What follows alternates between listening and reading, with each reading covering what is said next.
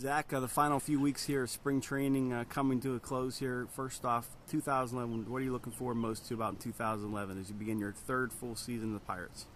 Uh, you know, it, it's it's going to be awesome to uh, start out uh, in a in a full season club and and you know be able to play 140 games as opposed to 70 or 74, which whatever we play in uh, State College, and you know, and I'll do it with all the guys. Hopefully that that we're in State College, and we'll we'll grow and we'll uh, learn to to take on a whole 144 game season. You talked about the guys at State College. Uh, how talented was that pitching staff? It seemed like every night that you're sending out a, another good starter.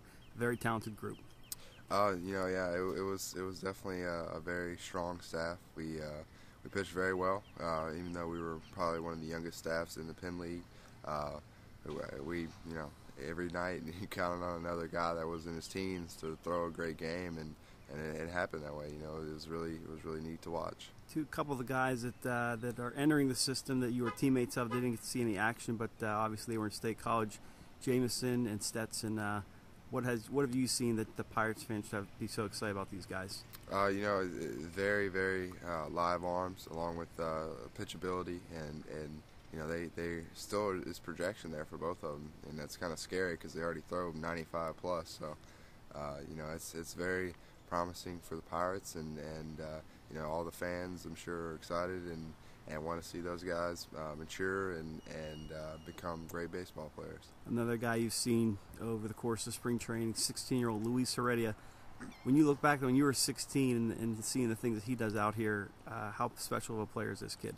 Uh, he's he's definitely a uh, he's he's a prodigy. He's uh, 16 years old and, and he's really mature for, for his age, especially. And 16, there's no way that I'm gonna I would be in uh, Pirate City. You know, I was I was not you know mature enough in my in my own uh, opinion uh, just to even be here. But he's you know he's take he's handling it well, and not only that he throws.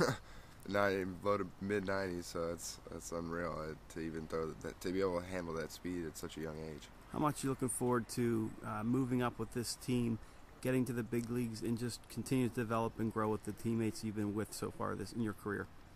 Uh, you know, it's it's going to be uh, an unbelievable experience. Obviously, you know, uh, with an organization that's uh, had you know a rough last few years, and and to know that they're going to turn it around, that Pittsburgh will win again, and you know, people are losing hope, but there's just look at the minor league system. There's so much talent. It's it's awesome, and it's it's going to be fun to watch as uh, all these you know talented players move up to Pittsburgh.